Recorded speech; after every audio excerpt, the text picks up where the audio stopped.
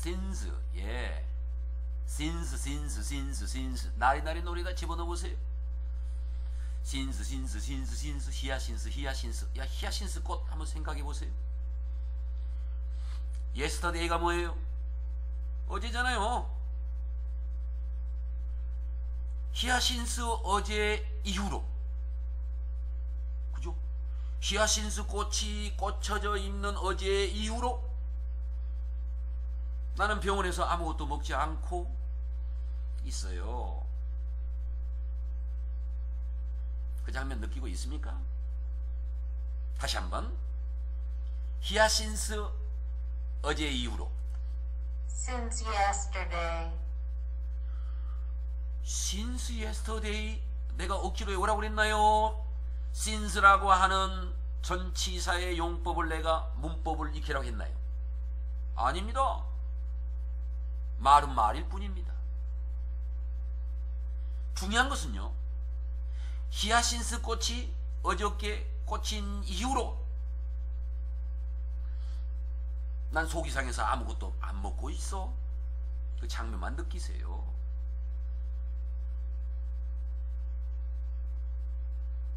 신스라고 하는 전치사 다음에 yesterday라고 하는 명사가 와서 전명구다라고 하는 거. 그 다음에 이 신스 이하가 부사구로서 그죠? 앞에 오는 has eaten, has eaten 먹지 않게 되어져 오고 있다. 예, 완료형하고 같이 쓰이고 있는 계속적인 용법, 용법입니다. 중요한 것은요. 이 세상의 모든 말, 영어건 국어건 뭐 일어건 중국어건 불어건 똑같아요. 낱말이건 구건 절이건 문장이건 뭐 뭐건 간에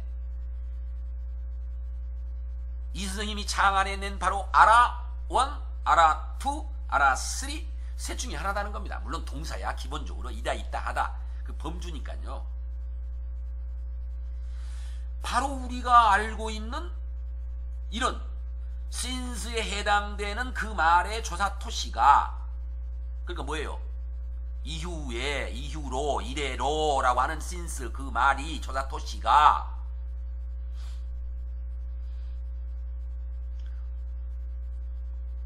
안 먹고 있다 동사 꾸미고 있잖아요. 형부 동문 수식한다 꾸민다 형용사 다른 부사 동사 문장 전체를 꾸미면 그건 무조건 쓰리죠. 부사 여기서 뭐 구. 근데 선생님 그 시간에 전치사 신수 설명을 뭐 용법을 해야 될 거 아니에요. 엄마 뱃속 말이라고 그랬죠. 순간적으로 느끼는 우리나라 말 그 속에 어저께가 뭐예요? 아, 때 나타내잖아요. 아, 그럼 때를 나타내는 부사구지요.